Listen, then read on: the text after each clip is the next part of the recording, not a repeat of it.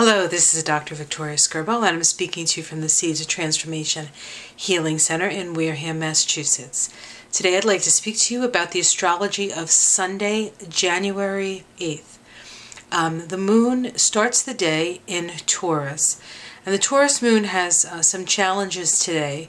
Most of them occur uh, very, very early in the morning, but we will still feel the energy of them.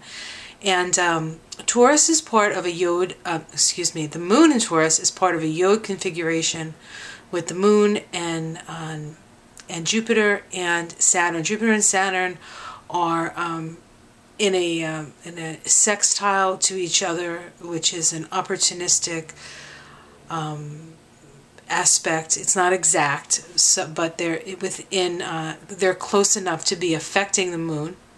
And both of those planets are making in inconjuncts to the moon in Taurus. In Inconjuncts are about making adjustments. And Taurus, um, the moon in Taurus, is about staying in our comfort zone.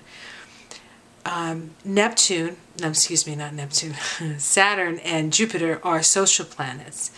And so the challenge here is the shift in, the shifts in society and how they affect our sense of um, comfort, ease, and security. And so uh, this is a challenging time for our emotions because we feel as though uh, the changes that are going on in society in general are creating a need for us to get out of our comfort zone. So there's a challenge there. Um, but today, the big story um, is Mercury. Today, Mercury uh, stations direct.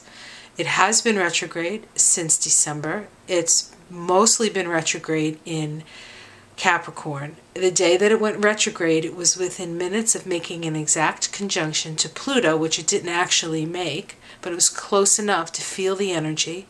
Mercury retrograde in Capricorn is a review of our ideas around power, powerlessness, um, how we structure our lives, how we structure our minds, um, how we make our mark in the world. All of these things came up while Mercury was retrograde, and now it has station direct. It's at 29 degrees of Sagittarius.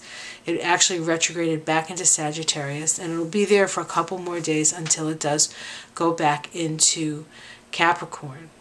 Mercury uh, retrograde will you will feel an easing up of some of the challenges that you have had, especially around small mechanical objects or uh, schedules.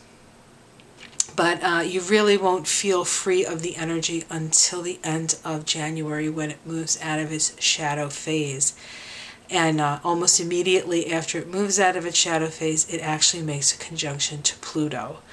And so this is a deeply transformational time for our mind, a deeply transformational time for the way that we structure our mind and how we organize our lives. So um, you will feel a little easing today, but uh, we will continue to muddle through for the rest of this month. Um, and it really isn't until February that perhaps we feel a little bit more unencumbered by things. So. You have yourself a great day. If you enjoy this video, please press the like. If you would like to subscribe to my YouTube channel, I would love that. And if you'd like to contact me for a reading, uh, if you have any questions, I can be reached at Vicki, V-I-C-K-I, at theseedsoftransformation.com. That's my website.